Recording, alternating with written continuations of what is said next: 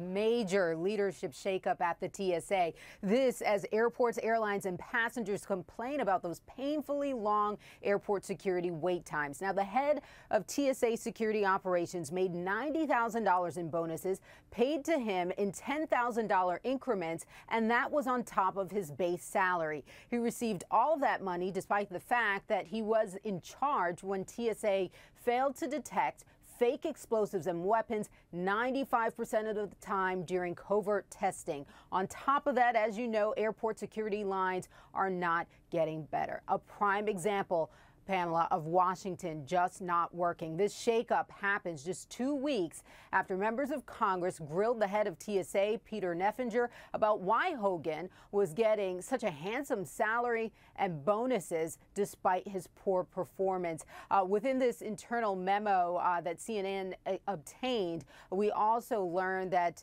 TSA plans on creating uh, this command center, which would in real time monitor airports and their wait times so that they can allocate resources as needed. So clearly, they have heard the calls for them to do better. Pamela? And do we expect, Rene, in the, in the wake of this TSA official being out, more heads to roll eh, with all this controversy surrounding the long lines at the airports and so forth?